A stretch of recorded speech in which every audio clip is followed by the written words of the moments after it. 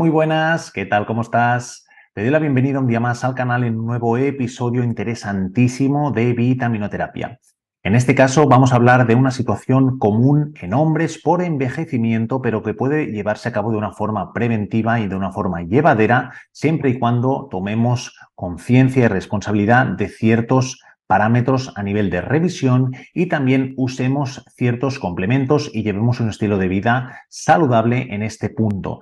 Estoy hablando de la próstata y concretamente de una situación que vas a ver a continuación en siguientes diapositivas. Soy David Cusó, dietista nutricionista y entrenador personal especializado en salud óptima, preventiva y antiinflamatoria. Y lo primero que vamos a ver es qué es la próstata referente a la glándula. ¿Ok?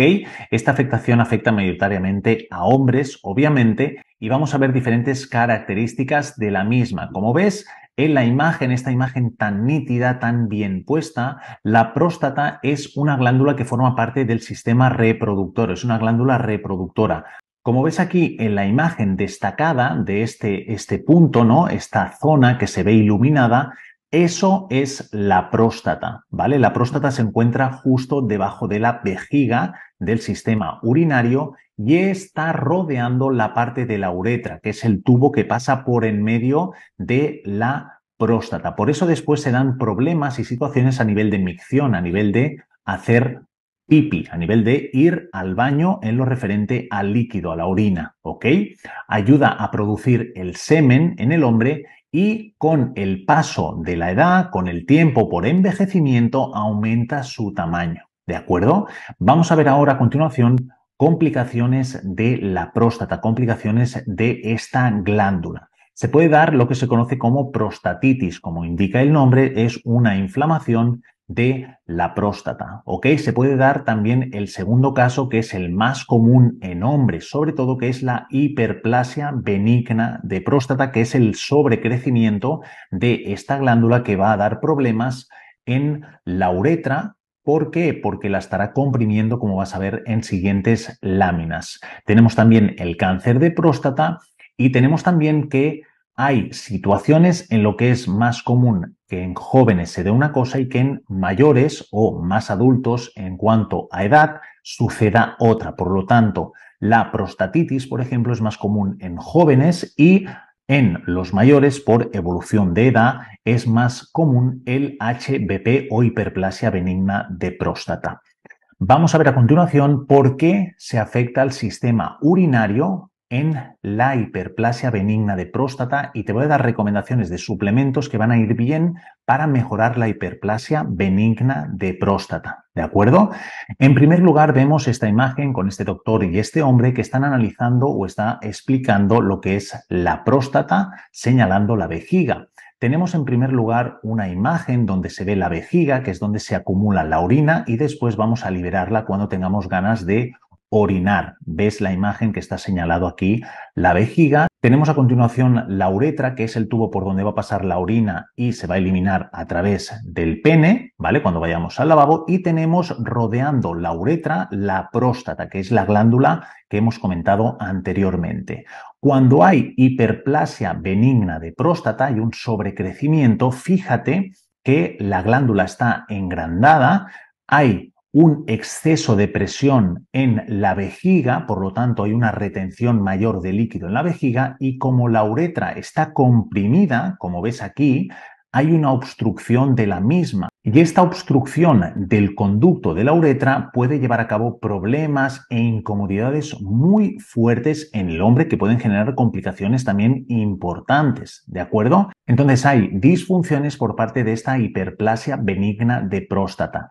Se llama hiperplasia benigna, ¿por qué? Porque es un crecimiento, como indica el nombre, hiperplasia es un crecimiento de la glándula, de la materia de la glándula, pero es benigna porque no es cancerosa en referente a nociva, en referente a perjudicial para la salud. ¿Ok?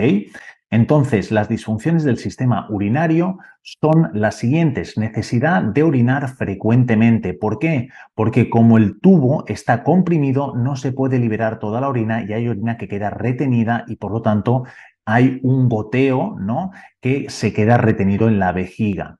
Tenemos también la nicturia, que es la necesidad de orinar frecuentemente por la noche. ¿Por qué orinar frecuentemente? Porque estoy orinando de forma intermitente pequeñas gotas o pequeños chorritos, pero no vacío de una vez la vejiga. También tengo dificultad para comenzar a orinar, obviamente porque tiene que pasar el líquido por ese tubo, por esa uretra, flujo de orina débil o intermitente, goteo posmicción y vaciado parcial de la vejiga. Y aparte también se pueden generar otras situaciones que pueden ser perjudiciales y pueden incomodar muchísimo a la salud del hombre en el día a día. ¿Ok? Porque imagínate, por ejemplo, que estás en la calle y tienes muchas ganas de hacer pipi, pero no puedes hacer pipi. ¿Vale? Entonces eso es muy, muy, muy delicado.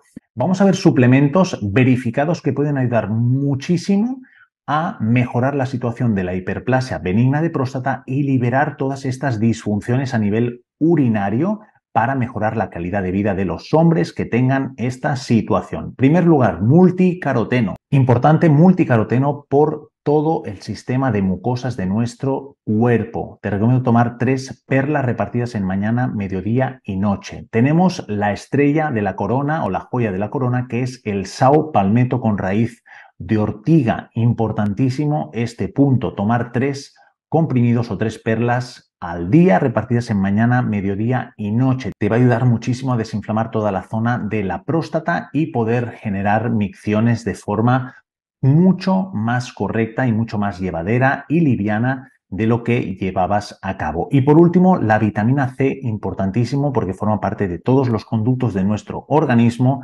tomar seis comprimidos al día repartidos en mañana, mediodía y noche. Y hasta aquí llegamos al fin de este vídeo sobre la próstata, donde hemos hablado de la hiperplasia benigna de próstata que sucede en hombres por envejecimiento de edad.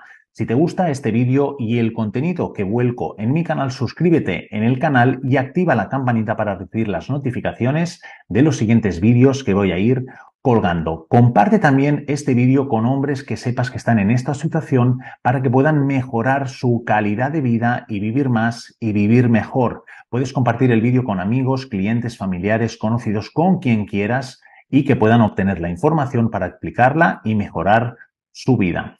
Si te gusta este tipo de contenido, apóyame y también comparte el canal para que puedas seguir produciendo este contenido y más contenido interesantísimo sobre nutrición, dietética, entrenamiento que estoy preparando para ti y que puedas usarlo para mejorar también tu calidad de vida. Gracias por formar parte de este canal, gracias por seguir creciendo la comunidad y nos vemos en el siguiente episodio. Chao.